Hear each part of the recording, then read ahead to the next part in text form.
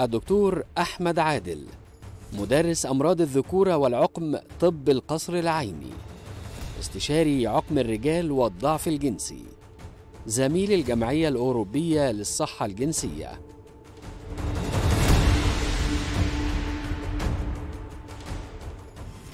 أهلا بكم. الضعف الجنسي له أسباب كتيرة يا جماعة ولازم نربط بين الضعف الجنسي وبين الأمراض.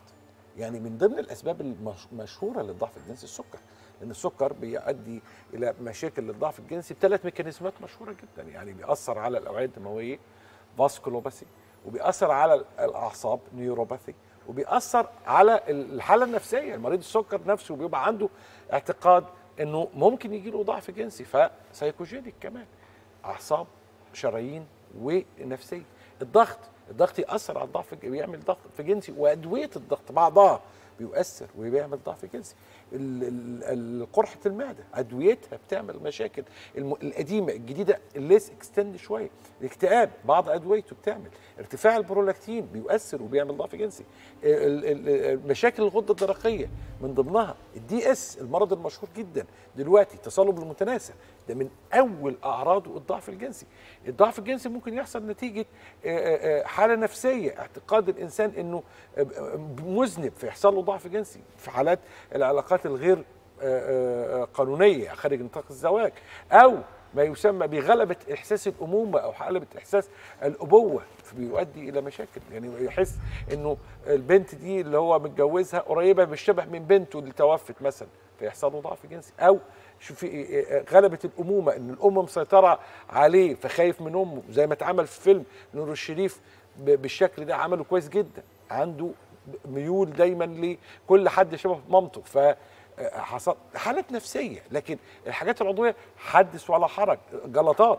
في أمراض جلط إحداث جلطة في الجسم أو عندها فرصة جلطة في الجسم. حاله حالة اسمها ليريش سندروم. حالة ليريش جلطة؟ بتيجي في الشريان المتفرع أو انقسام الشرايين فتؤدي إلى ضعف جنسي. هذا أمر مهم جدا. الضعف الجنسي موضوع في منتهى الأهمية. النهارده هنتكلم عنه بالتفصيل وهنتكلم على شكل علاجي مهم فيه بالتفصيل في حلقة مهمة جدا مع ضيفي العزيز اسمه متميز وأداء علمي متميز للغاية. الأستاذ الدكتور أحمد عادل أهلا بيك يا دكتور أحمد. أهلا يا دكتور أيمن. آه عايز أتكلم على الضعف الجنسي في الأساليب العلاجية وبرضه في تشخيص. إحنا دايما بنقول جملة وأنا باصر دايما يذكرها. آه، الضعف الجنسي مرض له حل. يمكن في ناس كتيرة جدا نتيجة زي ما اتكلمنا في حلقات سابقة نتيجة إنها جربت المنشط مرة واثنين وثلاثة بدون استشارة طبيب ومع الوقت ابتدى يفقد الفعالية بتاعته وبتفتكر إن دي نقطة النهاية وإن كده خلاص الموضوع انتهى. وبالتالي خلاص أنا أسلم أمري بقى كده وأنا مفيش أي طريقة تانية. لا النقطة اللي دايما بنأكد عليها الضعف الجنسي مرض له حل واللي خلاه ليه حل تعدد وسائل علاجه. ويمكن إحنا عندنا ثلاث طرق رئيسية لعلاج الضعف الجنسي تبدأ بالعلاج الدوائي والغلطة الكبرى إنه ساعات المريض بيفتكر إن العلاج الدوائي هو مجرد إنه ياخد حباية عند اللزوم ودي أكبر غلطة ده مش العلاج الدوائي المقصود ابدا. الخطوه الثانية يمكن ده موضوع حلقتنا النهارده هو الحقن الموضعي اللي بسميه العلاج القديم الجديد وأخيرا التدخلات الجراحية اللي هي زرع الدعامات اللي خلته مرض له حل فعلا. ده كله هيكون مبني زي ما حضرتك ذكرت على تشخيص. وهي دي الخطوة الأهم في الشغلانة بتاعتنا. مش إني أكتب روشتة مش إني أقول له خد حقنة ومش إني أعمل له عملية. قبل ما ألجأ لأي حاجة من الحاجات دي أنا المفروض أبقى أنا والمريض متفقين إن إحنا قدام وضعية معينة درجة من درجات الضعف اللي قد تستوجب علاج دوائي فقط أو لأ حقن موضعي أو تدخلات جراحية. فيبقى أن التشخيص هو الأهم. النهارده إحنا خلي بالكم إنه الحلقات يعني كل حلقة جزء معين. يعني هنتكلم النهارده على الحقن الموضعي. ما هو المقصود بالحقن الموقعي؟ الموضعي أين موقعه من خريطة العلاج؟ السؤال ده في منتهى الأهمية. الحقن الموضعي ببساطة هو إن أنا بحقن مباشرة جوه العضو الذكري مواد منشطة بتساعد على تدفق الدم جواه لأن إحنا زي ما إحنا عارفين الانتصاب ده عبارة عن وضعية ضخ دم. فبالتالي الأدوية دي لما بتحقن مباشرة بداخل القضيب بتساعد على ضخ دم بشكل قوي ومباشر يساعد على إتمام العملية الجنسية. الحقن الموضعي موقعه من علاجات الضعف الجنسي أنا بسميه القديم والجديد. ليه قديم وجديد؟ قبل عصر ظهور المنشطات الجنسية اللي بأواخر التسعينات كانت هو هو ده العلاج الوحيد للضعف الجنسي الغير جراحي. لأن الجراحة طبعا زرع الدعامات فبالتالي كان هو العلاج الوحيد. مع ظهور المنشطات تراجع دوره لأنه طبعا بقى أسهل بكتير إنك تاخد حباية إنك تاخد حقنة. لكن لأن إحنا زي ما ذكرنا قبل كده عايشنا عايشين حاليا في عصر بنسميه era of the poor responders إنه الناس فقدت آه، التأثير بتاع المنشطات الجنسية معاها. فرجعنا تاني لموضوع الحقن الموضعي. وللأسف الشديد ويمكن ده ممكن نذكره بعد شوية إنه اتظلم. جملة شهيرة جدا بنسمعها من المرضى أول ما يذكر الحقن الموضعي. بلاش يا دكتور لو سمحت. أنا سمعت إنه بيعمل تليف. بلاش يا دكتور لو سمحت. مش معقول هدي نفسي حقن وشكشك روحي والكلام ده كله. وده يمكن راجع إن الناس محدش وضح لها بشكل كبير تقنية تك- تكنيك الحقن. المواد دي بتستخدم إزاي؟ وإزاي ملهاش أي آثار جانبية ولو في في أضيق الحدود. يبقى يبقى السؤال التقليدي التقنية و و و والاستخدام. تكنيك الحقن هو تكنيك بسيط جدا. يمكن إحنا معانا صور هنشوفها دلوقتي لتكنيك الحقن. هو حقنة إنسولين. ويمكن مرضى السكر كلهم لأنهم مرضى في الأغلب بيعانوا فترة من فترات من وجود ضعف جنسي زي ما حضرتك ذكرت في مقدمة الحلقة. عارفين إنه حقنة الإنسولين دي حقنة بسيطة جدا. آه، سن ما هوش كبير خالص. الصور يمكن معانا أهي. آه، بتحقن مباشرة. أنا دايما بقول للمريض مش محتاج إنك تكون بتعرف تدي حقن. مش محتاج إنك تخش في وريد معين أو شريان معين. أو أو ده في جسم القضيب مباشرة. حاجة بتتعلمها في دقيقة. وفي منتهى السهولة وفي منتهى اليسر ومفيش منها أي خطورة. فكتكنيك حقن مفيش فيه مشكلة. بياخد دقيقة وبنعلم المريض والأمر بعد كده في منتهى السهولة. يمكن في الأول بيكون مستغرب شوية الفكرة نفسها بتبقى غريبة شوية لكن بعد شوية الأمور بتمشي عادي وبيبقى حاجة بيعملها بشكل دوري من غير أي مشاكل. متى نلجأ له؟ السؤال ده برضه في غاية الأهمية. متى نلجأ له؟ لو وصلنا لمرحلة زي ما اتفقنا من شوية إن التشخيص هو الأهم والتشخيص ممكن يورينا إن إحنا وصلنا لمرحلة الاستجابة على العلاجات الدوائية بقت ضعيفة. أول ما هنصل لهذه النقطة هنبقى قدام حل من اتنين. يا اللجوء للحقن الموضعي وأنا بعتبره الخطوة الثانية أو اللجوء للتدخل الجراحي. ليه ممكن أسكيب أو أوقع خطوة الحقن؟ في بعض المرضى بيجوا يقولوا لي بص يا دكتور يعني هو جايب معايا نتيجة وكويس جدا بس أنا الفكرة مش مستساغة بالنسبة لي. فده خلاص بقوله. يبقى هنتجه ناحية الحقن الموضعي ناحية آسف زرع الدعامات. لكن إمتى ألجأ للحقن؟ بمجرد ما أصل لمرحلة أو استنتاج نتيجة التشخيص اللي إحنا عملناه المعتمد على وسائل كتير ذكرناها قبل كده إنه العلاج الدوائي فقد فعاليته مع هذا المريض. فيجب الانتقال للخطوة التالية اللي هي الحقن الموضعي. إيه ال mechanism بتاع الحقن؟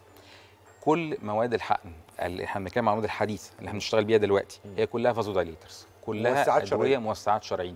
ويمكن في نقطة مهمة جدا إن هم نفس هذه المواد بتستخدم في الرعايات للمرضى اللي عندهم قصور في الشريان الرئوي قصور في عضلة القلب بتحقن ليهم في الرعايات. طبعا IV يعني. لكن هي نفس الفكرة دول vasodilators بيوسعوا الشرايين. آه. فبناخدها بتعديلات طبعا و modifications وتركيبات وبنحقنها في القضيب لتوسيع الشرايين لزيادة ضخ الدم للحصول على انتصاب قوي. طيب هل في موانع تخليني ما ما اخدش ما ما احطش الحقن كأسلوب علاج يكتبه المرضى؟ آه طبعا. آه، الموانع دي في جزء خاص منها من المريض وفي جزء خاص بالناحية الطبية. بالمريض إن هو مش حابب الفكرة.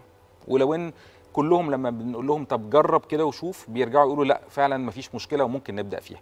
لكن في حاجات تانية إنه مثلا إن المريض ده يكون بيعاني من تليف. في مرض حضرتك طبعا تعرفه اسمه مرض بيروني. مرض بيروني ده أشهر الناس اللي بتصاب بيه مرضى السكر. السكر والمرضى اللي عندهم نقص في مستوى هرمون الذكورة. لو المريض ده عنده تليف أنا مش هقترح عليه الحقن مش لأن الحقن بيعمل تليف. ولكن لأنه هو هيبقى عنده استعداد ل fibrotic process إنه يحصل له تغيرات في نسيج القضيب. فبالتالي بالعكس أنا لازم ألحقه بتدخل جراحي لو كان فقد الفعاليه بتاعة الأدوية المنشطة معاه عشان قبل ما يحصل shortening أو قصر في حجم القضيب ألحق على طول أعمل له زرع دعامة آخد فيها المقاس الأصلي للقضيب. في نقطة أنا برضو كنت حابب أتكلم فيها ودي نقطة عشان كده قلنا من شوية إنه اتظلم. في بعض الأطباء للأسف بيقولوا إنه الحقن ده مش موجود. يعني ده مش option مطروح.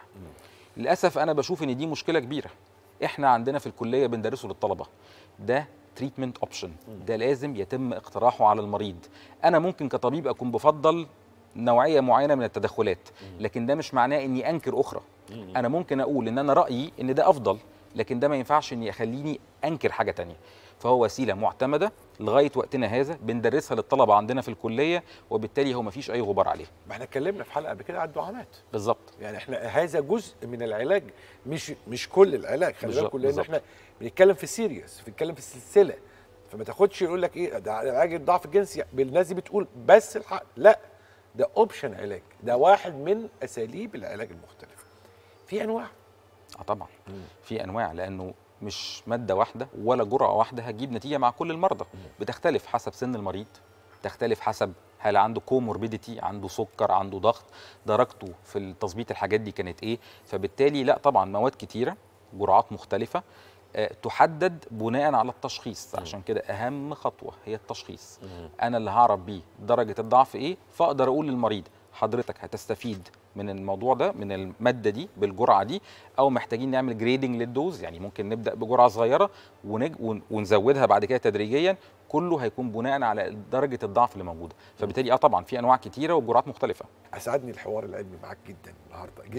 حطيت نقاط واضحة جدا حطيت سيبريشن واضح جدا كالعادة ورسمنا خريطة مهمه جدا لجزء تاني مهم من علاجات الضعف الجنسي. يبقى إن ده جزء من سلسلة العلاج بتاع الضعف الجنسي لأنه عايزين تجمعوا الأساليب العلاجية كلها لازم تتفرجوا على السلسلة كلها. لازم تتكلموا شوفوا الحلقات مجمعة عشان ما تقولش إن بس إحنا اتكلمنا النهارده على الحقل الموضعي ضيفي العزيز الأستاذ الدكتور أحمد عدل مدرس أمراض الذكورة والعقم بكلية الطب آه، قصر عيني جامعة القاهرة واستشاري عقم الرجال والضعف الجنسي وزميل الجمعيه الأوروبية للصحة الجنسية. نورتني في الناس الحلوة. أشكرك يا دكتور. أسعدتني بهذا. الحوار. نكون دايما بعيد عن كل الأوهام وخليكم دايما معانا مع الناس الحلوة.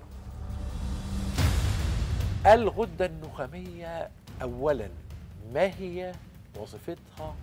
إيه الأحوال الجراحية المتعلقة بها؟